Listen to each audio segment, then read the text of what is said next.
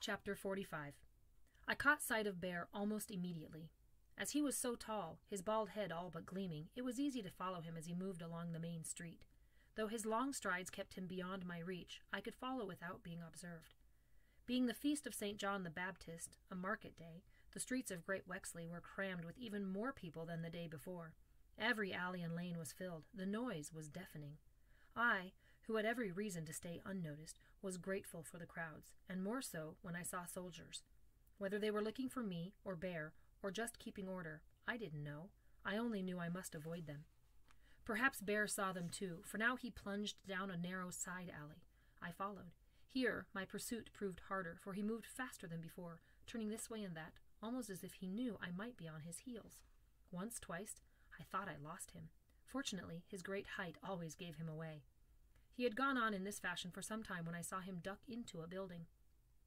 It was a large timbered structure, three stories high, the second and third levels leaning far over the alley upon which it faced.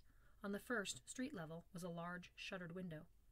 Over the door hung a board upon which an image of a boot had been painted. By this I took it to mean that boots and shoes were made and sold there. At first I hung back, keeping my eyes on the door to see if Bear would re-emerge. He didn't, but a few other men went in, some of them, I thought, looking furtively about as they entered. It was as if they too feared being noticed. Nervous that Bear would be annoyed with me for disobeying his orders a second time, I decided not to go to him, but remained on watch, my eyes alert for either the one eyed man, soldiers, or men in blue and gold livery. But though the alleyway was full of passers by, I saw no one that gave me any reason for concern. I was about to move on, with the thought of peeking through cracks in the building's front shutters, when another man appeared, a short man, he had a great dark cloak about him, hiding whatever clothes he wore. The hood concealed his hair. He, too, looked about, as if to make certain no one saw what he did. Then he entered the house. It was John Ball. There could be no more doubt that this was more of Bear's dangerous business, from which he had warned me to keep away. I had little doubt I'd not be welcome if he discovered I was close. Even so, my curiosity held me. As I passed the building, I discovered a narrow passageway running by its further side. Pausing, I looked about to make sure I was not being observed, then slipped within it. The passageway was narrow, but I easily made my way until I faced a rough stone wall. Having gone so far, I decided to climb it. From the top of the wall, I peered down into a small garden of flowers and herbs. The garden was surrounded by three walls built of rough stone, the walls being not much higher than the one I'd just climbed. The back of the house served as the fourth wall. The place was deserted. I dropped down into it. Facing the rear of the building, I now discovered a back door had been left partially open.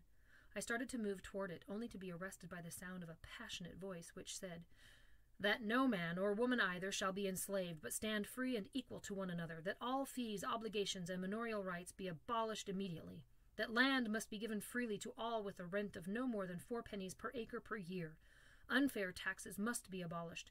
Instead of petty tyrants, all laws shall be made by the consent of a general commons of all true and righteous men.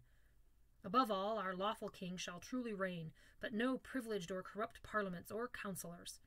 The church, as it exists, should be allowed to wither. Corrupt priests and bishops must be expelled from our churches. In their place will stand true and holy priests, who shall have no wealth or rights above the common man. The more I listened, the more startled I was that I understood what John Ball was saying, that he was, in fact, describing the way I had lived, and how it was wrong and could be made right. But as his words went on, I realized, too, how hazard this business truly was, nothing less than rebellion against the realm of England. Backing away from the door, I managed to climb the wall and moved hurriedly along the narrow alley toward the street. My intent was to return to the inn, there to await Bear and our departure from Great Wexley. Before stepping from the passageway between the buildings, I took the precaution of looking up and down the passage to see if I was being observed, which is how I spied a group of soldiers coming toward me along the street. They were such as I had seen by the town walls, armor on their chests, and rusty metal caps on their heads. Broadswords were in their hands, daggers were at their hips. They were being led by a man who wore a vest of chain mail over a quilted blue jacket. In his hands he carried a crossbow. His helmet bore a crest of blue and gold, but I knew him as John Aycliffe. By his side was the one eyed man.